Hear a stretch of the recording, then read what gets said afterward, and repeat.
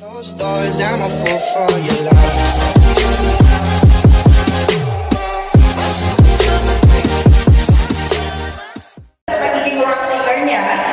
she is also a great ballroom dancer. And she will show us uh, a great number later on tonight. So, without further ado,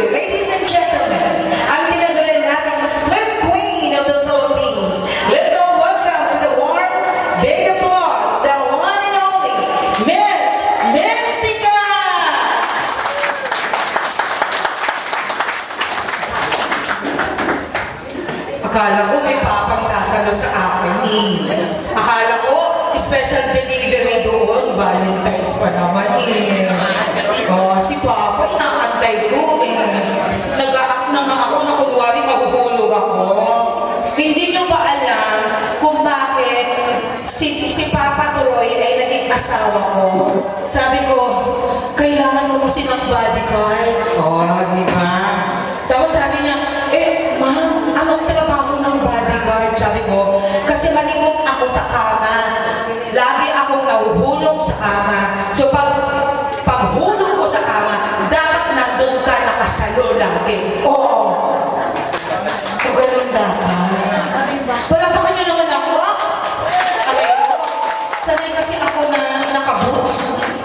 Oh, pero dahil nasa princess po ako, kasi sabi po nila, marami daw yung mga kaedad ko, marami daw yung mga, anong tawag doon? Mga senior citizen.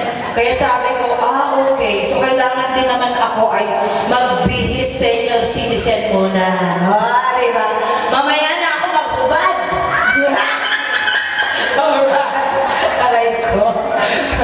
Okay. O, sige na na. Ano bang kakantayin ko? Kailangan ko yung stand. Pwede ba? Para in case na mahuhulog ako, at least may kakapitan ako. Alright. Kanina po, wala akong high heels. So, kaya ganito, kaniin kanina ito, ginamit ko, di ba? Papa, bigla na po akong tumangkad, kaya pwede bang patangkarin mo ako? At pa- patangkarin mo rin ito. O, tingnan mo, kasi kanina, bigla akong ah, napakanta ng napakanta.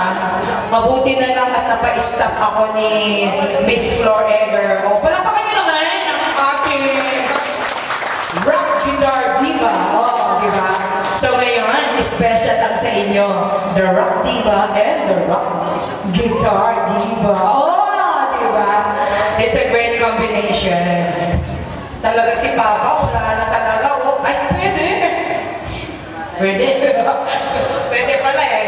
Alright, ba bali ito na lang yung pinatangkad ko. O, Sige, ano bang next? Ano bang uunahin kong kantaan? Siya po yung pumili ng mga kanta ko. So ngayon po, magre-rehearsal ako, okay? She was the one who chose my song, so right now I'm going to rehearse. Alright? Simple lang agad. Ko sa lalaki ay matigas, madulas, at malaki. Yun po yung hit song ko. Okay. Alright, I'm gonna be doing my first song right now. This is actually the first song that made me a hit. Okay? So this is called Simple Lang. Alright. So in English, I'm just a simple girl.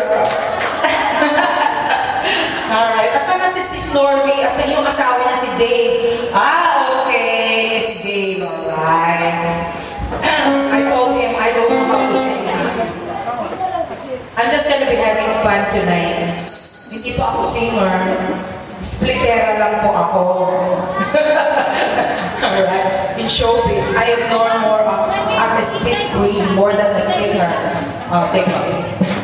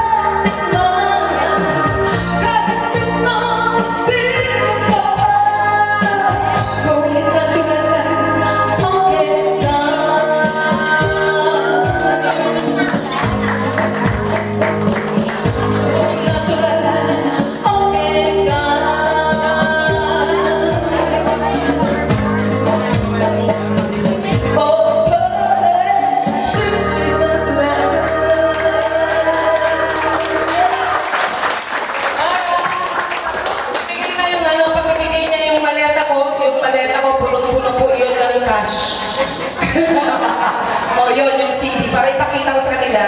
Uh, it's actually from uh, from Mystica Productions and of course from Viva Records.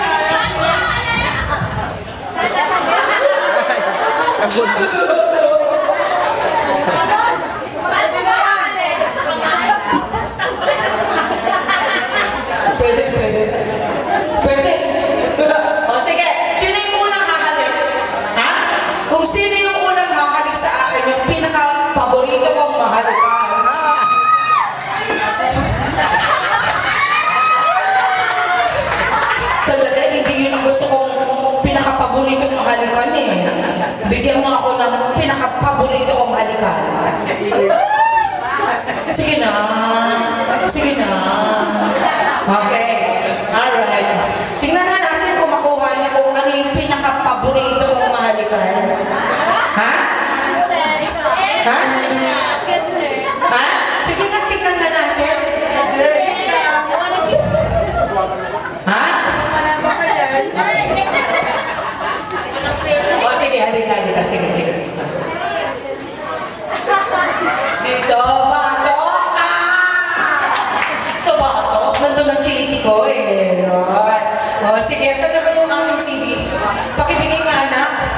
Yung ano, yung, ah, yung maleta. Andyan, andyan, dito, dito, dito. Sandali, pakikuha naman papa. Yan, yan, pakibigay ko sa akin papa. Yan. Paki-open na rin papa, ha, para, para special service yan. Ilagay ko lang po dyan. Ayan. Para makabenta tayo ng CD. Ayun. Oo.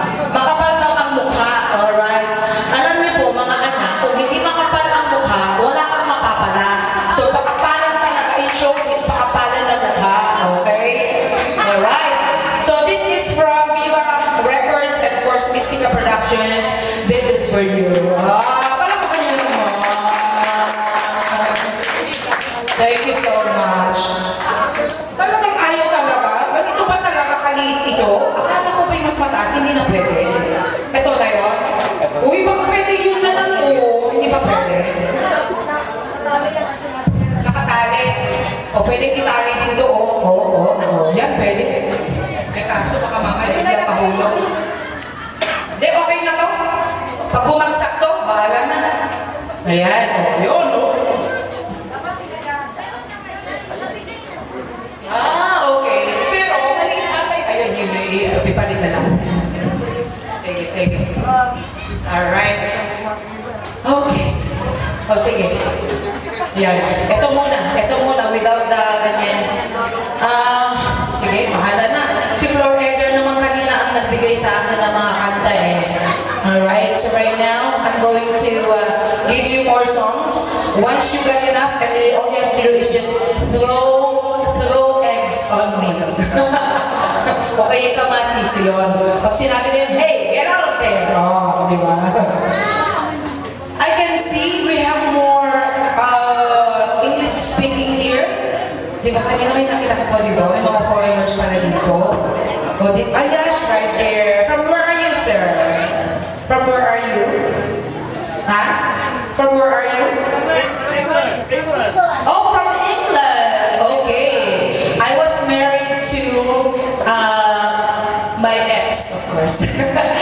and he's from England, Liverpool. All right. But because he was a Canadian, so I used to live in Canada. All right. So meron pala. Okay. I was married when I was 19 years old and he was 54. And I'm not sure if he's still alive.